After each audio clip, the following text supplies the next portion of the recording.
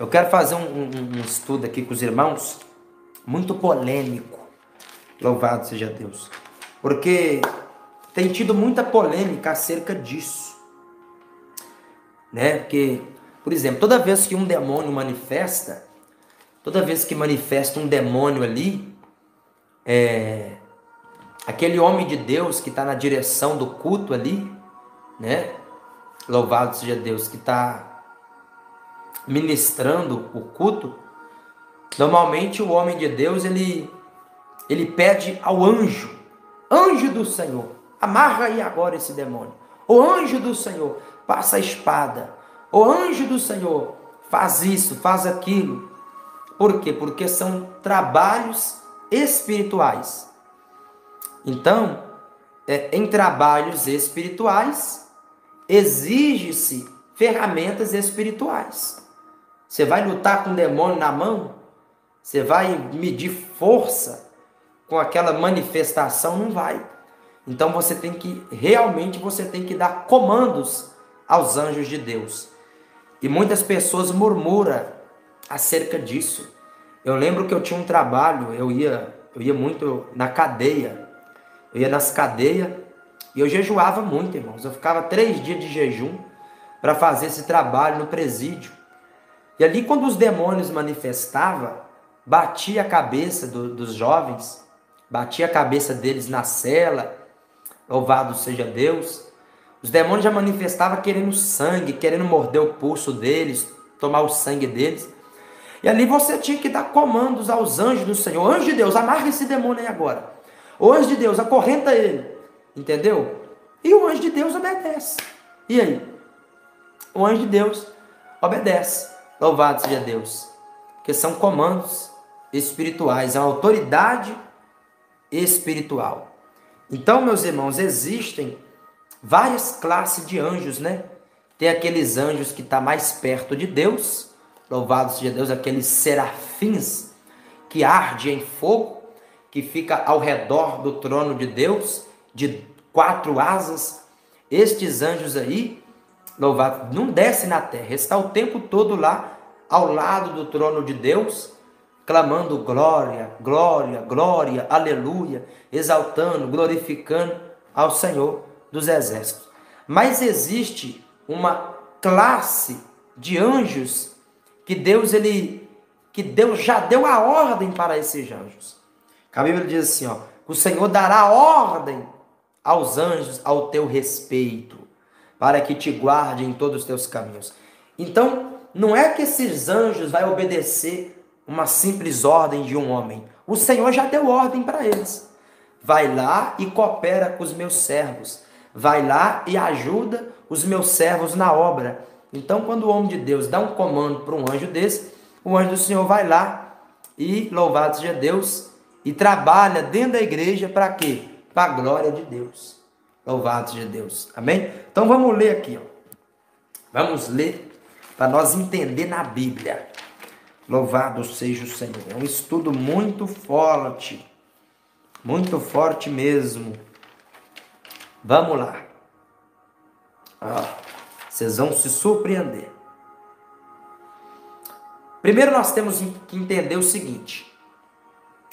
Paulo afirma, veja bem, Paulo afirma em Romanos, Romanos 3, 23, que todos pecaram Romanos 3, 23 diz assim: ó, Todos pecaram e destituídos estão, destituídos foram da glória de Deus. Qual glória é essa? Paulo escreveu em Romanos 3, 23 que todos pecaram e destituídos foram da glória de Deus. Louvado seja Deus. Qual glória é essa? Vamos ver se os irmãos sabem. Esta glória, que glória é essa? O homem, quando foi formado, quando foi criado por Deus, ele tinha uma glória.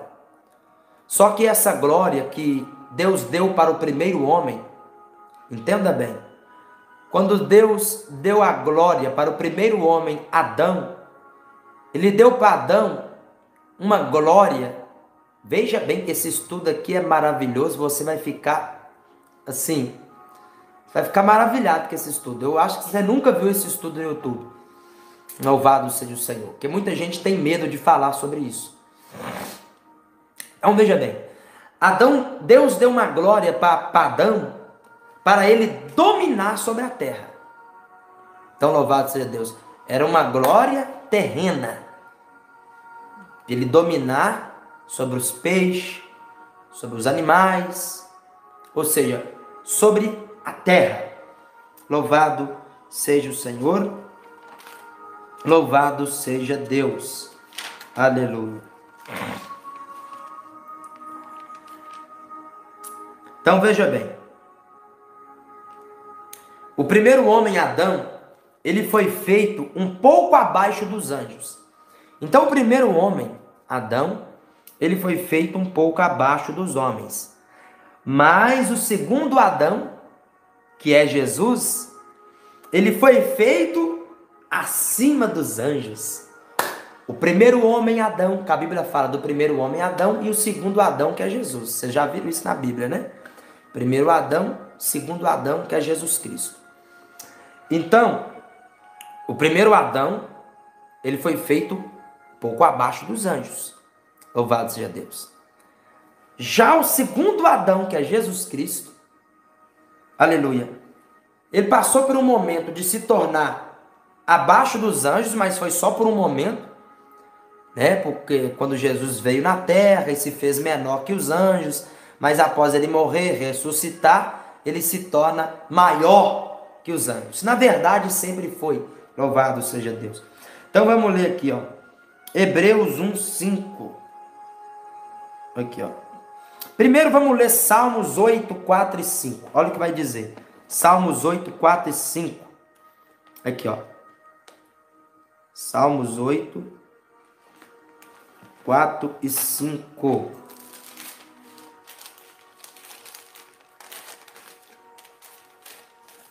Olha o que diz, ó. Olha o que diz. Que é o homem mortal? Para que te lembres dele. É o filho do e o filho do homem para que o visites. Pois pouco menor que os anjos o fizeste.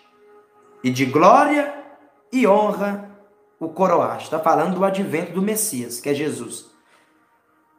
Deu-lhe domínio sobre as obras das tuas mãos. Tudo puseste sobre os teus pés. Todas as ovelhas e bois, assim como os animais do campo, as aves do céu, os peixes do mar e tudo que passa pelas veredas dos mares. Ó Senhor, Senhor nosso, quão admiráveis é o teu nome sobre toda a terra. Louvado seja o Senhor. Então aqui está dizendo que Deus, ele fez o homem um pouco menor que os anjos, o primeiro homem. Mas agora vai vir o segundo homem, que é Jesus Cristo. Então, o primeiro homem, Adão, anjo, anjo não, ia, não iria obedecer comandos, porque o primeiro homem, Adão, foi feito menor que os anjos. Louvado seja Deus. Mas aí vem o segundo homem, que é Cristo. Louvado seja Deus. Vamos ver em Hebreus capítulo 1 o que vai dizer. Veja só. Olha aqui, ó. Vamos olhar na Bíblia. Hebreus capítulo 1. Hebreus capítulo 1, versículo 5. Vamos ver, do 4 ao 5. Aqui, ó. Tornando-se mais excelente do que os anjos, quanto herdou mais excelente nome do que eles. Então, segundo Adão, Jesus torna-se mais excelente que os anjos, está acima dos anjos. Pois a qual dos anjos jamais disse: Tu és meu filho, hoje te gerei. E outra vez, eu serei seu pai, e ele será meu filho. Louvado seja Deus. Então veja bem que Jesus é maior que os anjos. Ele é o Filho. Louvado seja Deus. Então, coisa linda de Deus, coisa tremenda de Deus.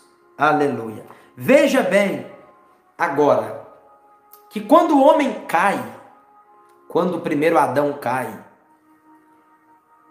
Adão cai, Eva cai, ficam destituídos da glória de Deus, da primeira glória que o homem tinha, que era sobre a terra, sobre os animais. Então, quando o homem pecou, o homem se tornou o quê?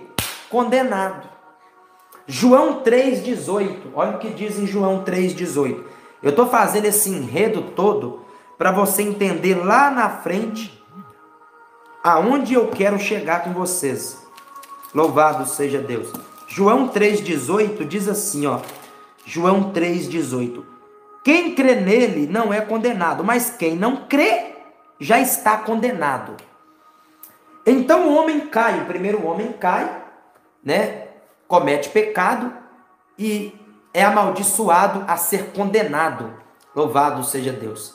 Só que Deus, com muito amor, Deus, aleluia, vai enviar Jesus. Deus envia então Jesus. E Jesus, aleluia, se faz menor que os anjos por um primeiro momento. Deus pega toda a sua glória, louvado seja Deus, e desce na terra em forma de homem. Então é como se Deus reduzisse a sua glória. Então, Deus, Jesus na terra é Deus na terra. Então, aleluia, ele se torna menor que os anjos ali por um período, por um momento, mas porque ele estava em carne, louvado seja Deus, mas após, aleluia, Jesus morrer e ressuscitar, ele retoma novamente a sua glória de Deus e se torna maior que os anjos. Então a Bíblia diz que aquele que não crê em Jesus já está condenado. Ou seja, está condenado ao inferno. Mas aquele que crê não está condenado. Agora vamos ver os benefícios daquele que crê. Veja bem, no Velho Testamento, o homem tinha uma glória menor que a dos anjos. No Velho Testamento. Aleluia. Mas quando vem Jesus, aí Jesus vem para salvar o homem.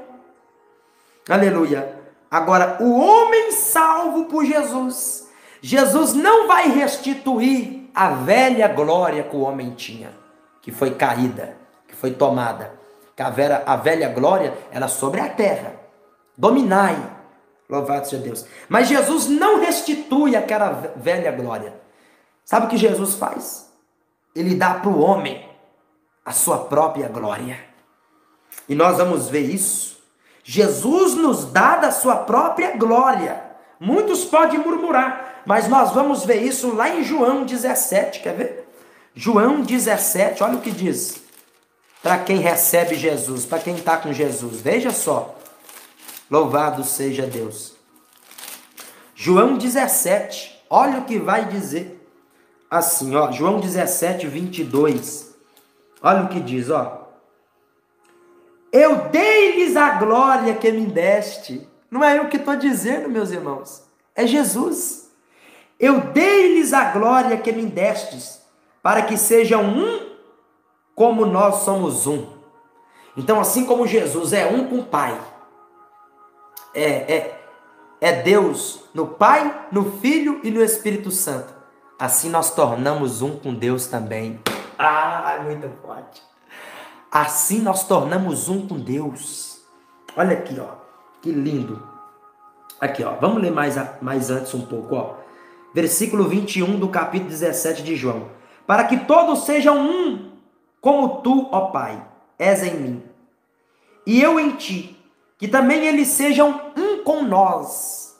Então, quando os anjos olham para nós, quando os anjos olham para o homem de Deus, os anjos não vê mais um homem caído. Os anjos, os anjos não vê mais um homem sem glória, com a velha glória de Adão. Os anjos vê um homem com a glória de Jesus. Quando os anjos olham para nós, quando os demônios também olham para nós, eles vê o próprio Jesus. Ah, muito forte esse ensino. Não é eu que estou falando, é a Bíblia. Olha aqui, ó. Que fique claro para que todos sejam um como tu, ó Pai, és em mim e eu em ti, e que eles sejam um em nós, para que o mundo creia que me enviaste. Eu lhes dei a glória que me deste, para que sejam um como nós somos um. Eu neles, tu em mim, para que sejam perfeitos em unidade. Que lindo, irmãos! Jesus está em nós, através do seu Espírito, o Espírito Santo. Ele une com o nosso espírito. Olha só, o nosso corpo é templo do Espírito Santo. Então, quando o Espírito Santo ele passa a habitar no nosso corpo, ele une com o nosso espírito e torna um só. Nós nos tornamos um só com Cristo. Como ele disse aqui, ó, eu neles e tu em mim, ó Pai. Então, Pai em Jesus e Jesus em nós. Nós nos tornamos um com ele, ou seja, o corpo de Cristo. Aí quando os anjos olham para nós, eles veem o corpo de Cristo. Quando os demônios olham para nós, eles veem o corpo de Cristo. E Cristo é a própria cabeça. Ah, louvado seja Deus. Louvado seja Deus. Vamos, vamos prosseguir, vamos prosseguir, tem mais afirmações. Você pode ver também Filipenses 3, quer ver? Vamos ver lá. Então aqui nós já vemos que nós somos um com Cristo. Isso é para quem crê, entendeu? A Bíblia diz que tudo que não é de fé é pecado. Filipenses 3. Veja só.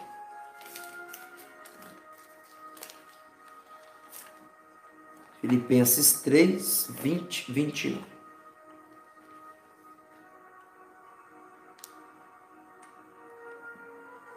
Mas nossa cidade está nos céus. Ou seja, nós não somos daqui dessa terra. Nós já somos cidadão do céu.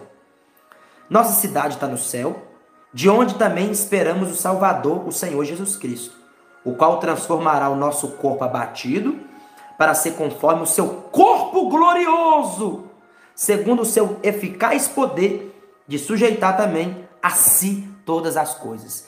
Então, todas as coisas é sujeita a Cristo. E Cristo, por intermédio do Espírito Santo, habita dentro de nós. Então nós temos a glória de Cristo dentro de nós.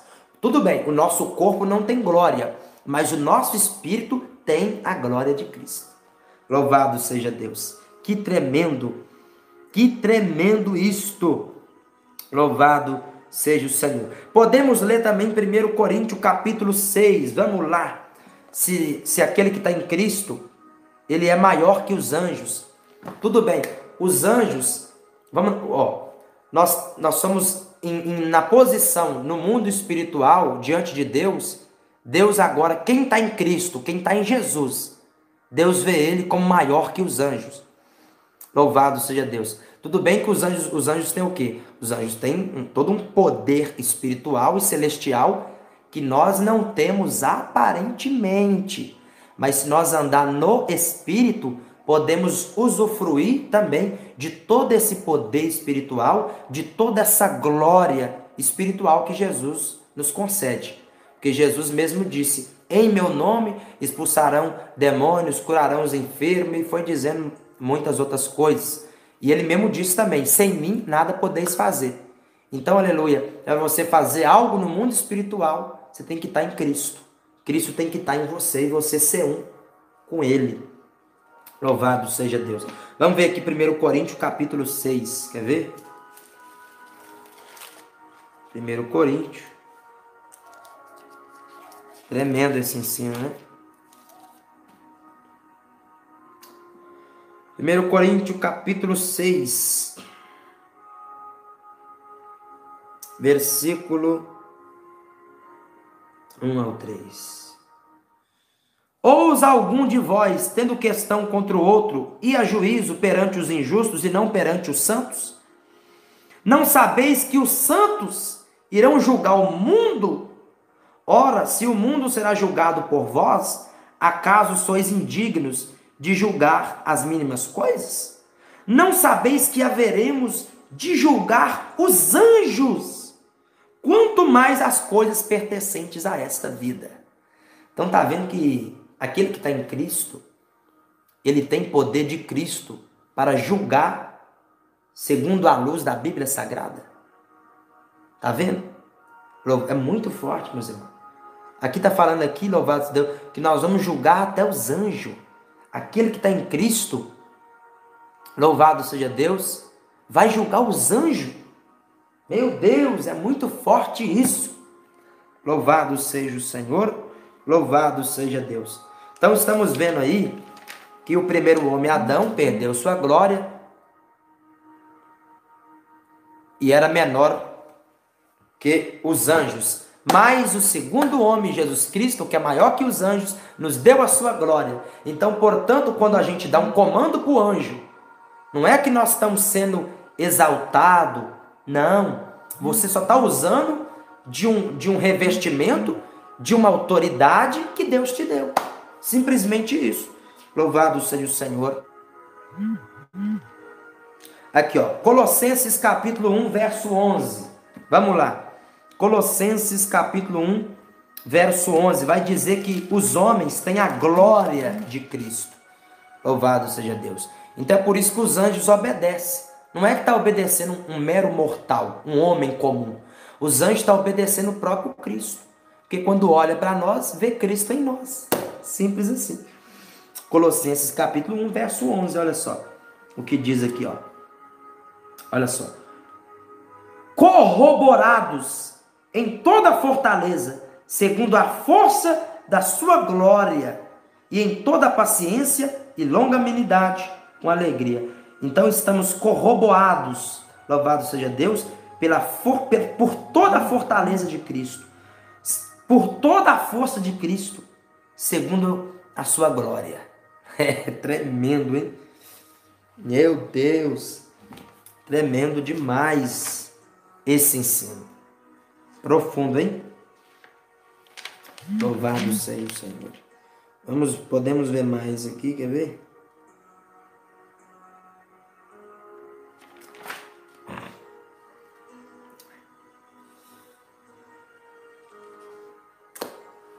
É, Apocalipse 19, 10 vai, vai falar lá quando o, o anjo vem falar com João e João vai prostar diante do anjo para adorar ele. O anjo não, levanta, levanta que eu sou conservo teu. Ou seja, João era, além de ser servo, João era filho. Meus irmãos, o próprio Cristo diz: Não vos chamareis mais servo, mas vos chamarei de amigo, de filho. Então nós somos amigo íntimo de Deus e nós somos filho de Deus. Espera aí, quem é maior? Filhos ou criatura? Porque os anjos são criatura de Deus. E nós, quando recebemos Jesus, passamos a ser filho. Louvado seja Deus. Então, quando os anjos olham para nós, eles vê filhos de Deus. Ah, tremendo demais, hein? Veja só. Quer ver? Hum, Apocalipse, isso mesmo. Apocalipse 19, 10, lá no 20, Apocalipse 22 também quando João vai prostrar diante do anjo, o anjo, não, não, não, não me adora, adora a Deus, sou conservo teu. Conservo é serve igual a Deus, serve junto. O anjo estava dizendo para João assim, ó, eu sirvo a Deus junto com você, eu estou junto com você. Louvado, conservo é que serve junto. Louvado seja, adora junto. Louvado seja Deus. Então, quando você pede um anjo para amarrar um demônio, para passar a espada no demônio, para fazer isso ou aquilo dentro de um culto espiritual, porque isso acontece em culto espiritual, esse anjo vai obedecer por quê? Porque ele está servindo a Deus junto com você. É conservo teu e você é filho. Ah, é forte demais. Louvado seja o Senhor. Quer ver mais? Vamos poder ler mais aqui, ó. João 15, 15. Olha só aqui, ó. Hum, João 15, 15. Olha o que diz. Aqui, ó.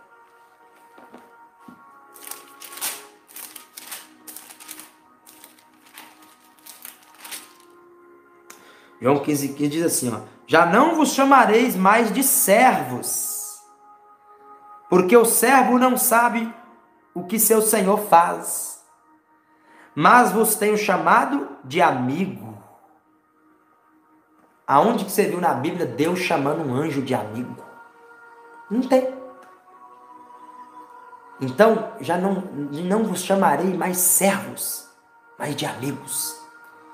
Então, o homem em Cristo, ele se torna maior que os anjos. Isso o homem que está em Cristo, que é uma unidade com Cristo. Amém? Fique claro isso. Louvado. E também tem que alcançar um nível espiritual. Louvado seja Deus. Tem que estar em Cristo verdadeiramente. Além de amigo, além de amigo, veja só. 1 João 5:1. 1 João 5:1. Olha o que vai dizer.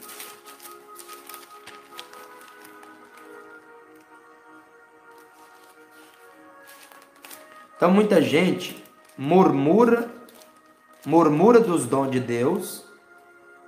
Por quê? Porque não lê Bíblia. Não lê Bíblia. Não estuda a Bíblia. 1 João 5,1. Veja só. Todo aquele que crê que Jesus é o Cristo é nascido de Deus. E todo que ama aquele que o gerou, ama também o que dele é nascido.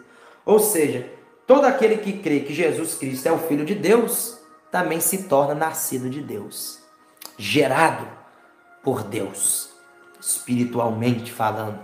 Louvado seja Deus. Então se torna também filho de Deus. João 1,12, quer ver? João 1,12. Temos que olhar tudo na Bíblia para não haver murmurações.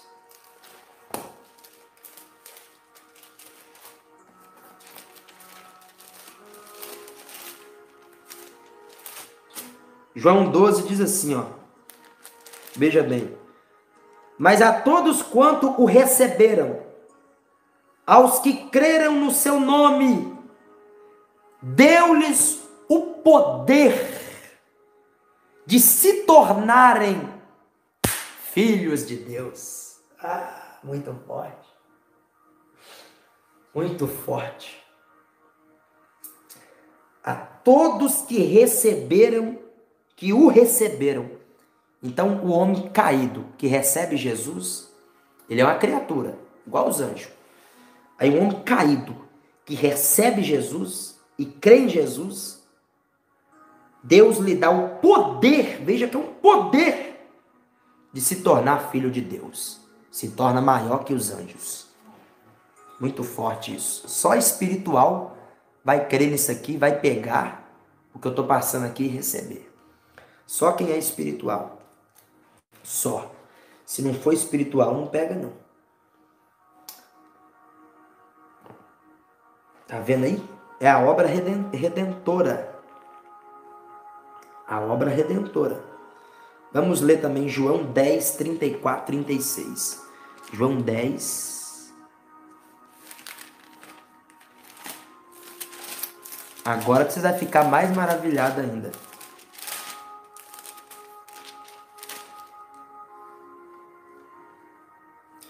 João 10, 34, 36. Aqui, ó. Jesus respondeu-lhe: Não está escrito na vossa lei, eu disse, sois deuses? No diminutivo, deuses no diminutivo, ou seja, dotado de, de poder, de autoridade.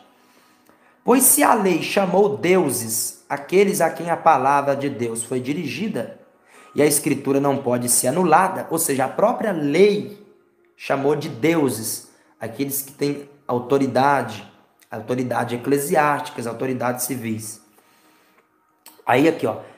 Agora Jesus diz assim, ó: Aquele a quem o Pai santificou e enviou ao mundo, dizeis blasfemas porque eu disse sou filho de Deus? Porque os homens é, que tinham autoridades civis e eclesiásticas se autodenominavam deuses. A própria lei dizia que eles eram deuses, entre aspas, no sentido diminutivo, em relação a poder, autoridade, influência, louvado seja Deus, é, civil e eclesiástica. Louvado seja o Senhor. Aí Jesus aparece e vem dizendo: Eu sou filho de Deus. Eles não aceitavam isso. Nós podemos ler também, ó, em João 8, 12, João 3, 17, Mateus 5, 14. Veja bem. Jesus é a luz do mundo. A Bíblia não diz que Jesus é a luz do mundo, mas a Bíblia também diz que nós somos a luz do mundo. Então, quem está em Cristo, Jesus é a luz, quem está em Jesus também é a luz do mundo. Então, quando os anjos olham para nós, que está em Cristo, para quem está em Cristo, vê o próprio Cristo. É como se eles tivessem, é como não, eles estão obedecendo o próprio Cristo. Louvado seja Deus. Muito forte. Então, o significado de conserva. O próprio anjo disse para João, né? Sou conservo teu. Conservo é aquele que serve. Conservo é serviçal. Serve junto ou serve igualmente. Louvado seja Deus. Então, os anjos estão tá junto com nós para servir a Deus. Então, se pedir algo ali, num culto espiritual, dar um comando, né? fazer um pedido ali, para o anjo fazer, ele vai fazer, por quê? Porque ele serve a Deus junto com você. Entendeu? Então tá aí bem explicado, sem restar dúvida. Então aqui, ó, conservo, o anjo disse para João que ele era conservo, não foi? Conservo é companheiro do servo. Ah, muito forte, hein? Muito forte. Isso, isso mesmo. Então isso é o que? É uma autoridade, uma, uma autoridade conquistada no mundo espiritual. Né? Isso exige muito, muito jejum, muita oração Entendeu? Agora, às vezes você vê lá, não, não, murmura não, quando você vê um homem de Deus lá dizendo, ó, anjo do Senhor, amarra esse demônio aí, ó. Às vezes o demônio tá fazendo uma algazarra, uma quebradeira dentro da igreja. Você vai medir força no braço? O legião de demônio? Uma força carnal? Não, você já vai dar um comando pro anjo do Senhor. Anjo do Senhor, amarra aí. Anjo do Senhor, coloca esse demônio de pé. Anjo do Senhor, coloca, coloca de joelho. E o anjo do Senhor vai obedecer, por quê? Porque ele está trabalhando junto com você para servir a Deus. O anjo do Senhor vai olhar para você e vai ver uma ordem, não de, de você sendo um próprio, um, um simples homem carnal. O anjo do Senhor vai olhar para você e vai ver em você a glória de Cristo. Ah, tremendo, hein? Porque quem recebe Cristo, quem está em Cristo, se torna um com Ele e tem a glória dele. É forte. Já viram esse ensino no YouTube? Eu nunca vi. Deus propôs no meu coração de aprofundar nesse assunto. Né? Então, muito forte, muito forte. Tremendo, né? Muito tremendo, não foi? Tremendo demais. Muito forte, né? Muito forte. Então tá aí. Tremendo esse ensinamento da parte de Deus, da parte do Senhor. Amém? Então, se a Bíblia está dizendo que nós haveremos de julgar os anjos, é porque aquele que está em Cristo é maior que os anjos em questão de hierarquia. Tá aí muito forte. Muito forte. Amém? Então tome posse aí desse ensinamento maravilhoso.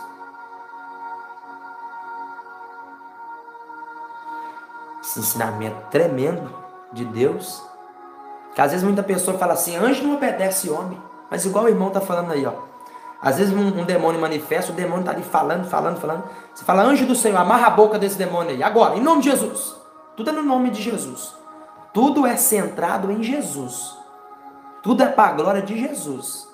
Não é para a glória de homem. O homem não tem glória. O homem sem Jesus, sua glória está caída. O homem sem Jesus está condenado. Mas o homem que está em Cristo tem a glória de Cristo. Amém? E o demônio cala na hora.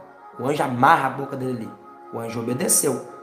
Mas não um homem caído. Um homem que carrega em si a glória de Jesus. Amém? Aí, contra fatos não há argumentos. Deus abençoe a todos vocês. Amém?